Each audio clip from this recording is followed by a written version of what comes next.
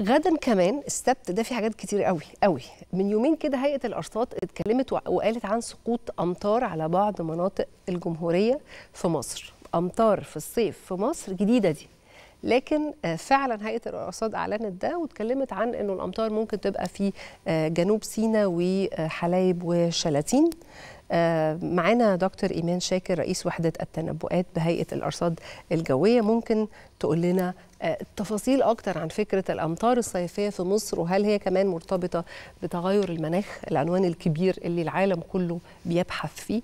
دكتور إيمان مساء الخير على حضرتك. مساء الخير على حضرتك أستاذة دينا ومساء الخير على كل السادة المشاهدين واهلا بحضرتك مبدئيا كده إحنا عايزين أمطار في القاهرة عشان الدنيا حر قوي يعني فما فيش أمل تيجي عندنا. كلنا نتمنى طبعا. لا هي طبعا هي بعيدة تماما عن. القاهرة والمناطق الشمالية. هي فرص الأمطار الموجودة بدأت بالفعل منذ اليوم على مناطق من جنوب البلاد زي حلايب وشلاتين وبحيرة ناصر وأبو سمبل وأيضا بتمتد لمناطق من سلاسل جبال البحر الأحمر زي مرسى علم وطبعا مناطق من جنوب سيناء زي كاترين ونويبع والتور طبعا الأمطار هي كلها أمطار خفيفة ما فيش منها أي قلق أو أي مشاكل لكن هي ممكن تكون رعديه على بعض فترات من اليوم. هي بدأت من النهارده مستمرة معانا حتى يوم الثلاثاء القادم إن شاء الله. وطبعا أمطار في الصيف يمكن غير معتاد عليه في مصر إن إحنا نسمع أمطار في الصيف. لكن فعلا زي ما حضرتك ذكرت في المقدمه تحت عنوان التغير المناخي اللي أثر على العالم كله وتأثرت بيه جمهورية مصر العربية بالفعل بدأنا نشوف ظواهر مختلفة وفي توقيتات مختلفة.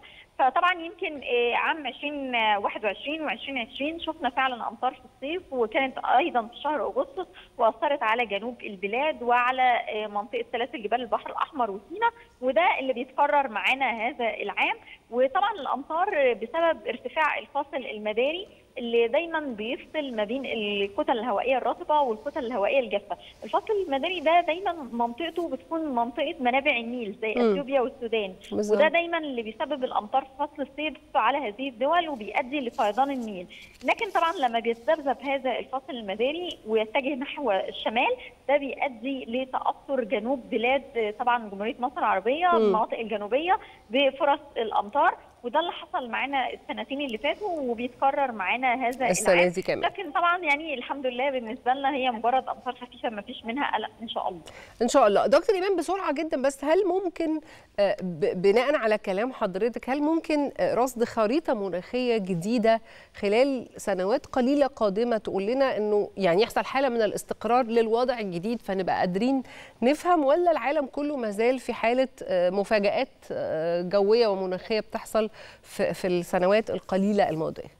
هو طبعا في عدة سيناريوهات بيتم دراستها بالفعل على مستوى العالم وطبعا الهيئة الدولية للتغير المناخي ال IPCC بتصدر كل عام تقارير خاصة بالتغيرات المناخية وبمدى تأثيرها في الأعوام القادمة. فطبعا في سيناريوهات متفائلة وسيناريوهات متشائمة. فطبعا السيناريوهات المتشائمة اللي معاها هترتفع درجة الحراره بشكل كبير جدا هتوصل من 3 ل 4 درجات أعلى من المعدل ده على مستوى الغلاف الجوي. هي ارتفعت حتى الآن درجة ونص. فلو ارتفعت وصلت لحد الثلاث لأربع درجات ده هيكون طبعا ياثر بكوارث كبيرة جدا على مستوى العالم فيضانات وسيول وعواصف ترابية وثلوج وتصحر يعني مختلف الظواهر.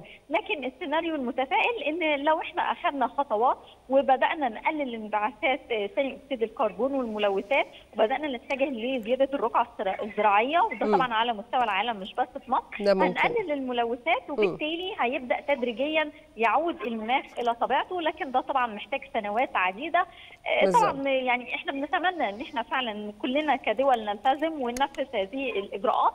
مهم جدا إن إحنا نحافظ على البيئة ونبدأ نرجع لمناخنا الطبيعي إن شاء الله. أنا بشكرك يا دكتور وكلام دكتور إيمان حقيقي جدا وواقعي وبيقول لك الوضع كما هو عليه ويمكن كوب 27 وكل المؤتمرات المناخية العالمية كان بعض الناس بتقول هو إحنا ليه مهتمين قوي بمؤتمر مناخ في الآخر؟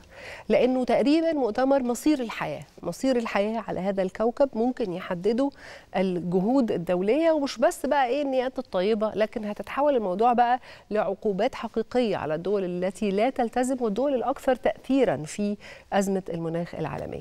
دكتور إيمان شاكر رئيس وحدة التنبؤات بهيئة الأرصاد الجوية بشكرك شكرا جزيلا